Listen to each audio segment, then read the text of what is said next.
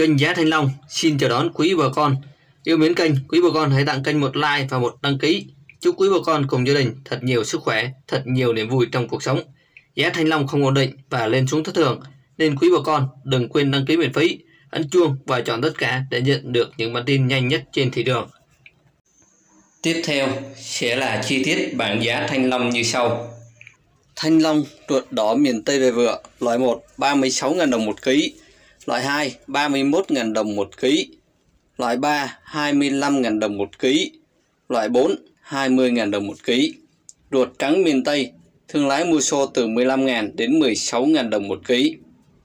Giá thanh long chênh lệch một vài ngàn, tùy thuộc theo từng vựa và tùy thuộc theo từng thương lái. Thanh long ruột trắng Bình Thuận hàng đẹp về vựa, vỏ đẹp 16.000, 17.000, 18.000 đồng 1 kg, vỏ sàn 14.000, 15.000, 16.000 đồng 1 kg. Hàng dạt có giá từ 7.000 đến 9.000 đồng một ký.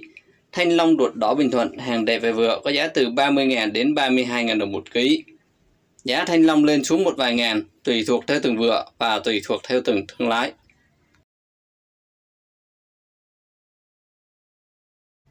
Cảm ơn quý bà con đã cùng lắng nghe và đồng hành cùng kênh Giá Thanh Long. Quý bà con hãy để lại bình luận của mình bên dưới video để trao đổi về giá cả thanh long cũng như các loại nông sản khác. Một lần nữa, xin cảm ơn quý bà con và hẹn gặp lại trong các bản tin tiếp theo. Xin thân ái, chào tạm biệt và hẹn gặp lại.